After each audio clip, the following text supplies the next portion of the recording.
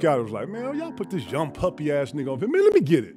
And, and when he clapped, the echo in the room, you know, this is my first time in front, in front of these niggas. And then I'm looking at, damn, I'm in here with Scottie, man. Yeah. And then his face was like, this man, he shot this big long ass 3D, like so much that I looked at that motherfucker and bam, he hit that motherfucker. Like, damn, now look. Like, man, almost like the face of like some easy work, man. When I saw his face, I was like, and just my natural reaction, I called for it. MJ threw that motherfucker, and I took two dribbles, kid that game a little move, and I let my shit go. Man, my shit hit, dog. I thought I had won the championship. I look, look, I was so gassed, I jumped. So I don't know what you think this is, nigga. He's like, what, nigga, what? and he shot me the ball. I shot him back. Nigga pushed up. Said, nigga, I had these niggas kill you in here.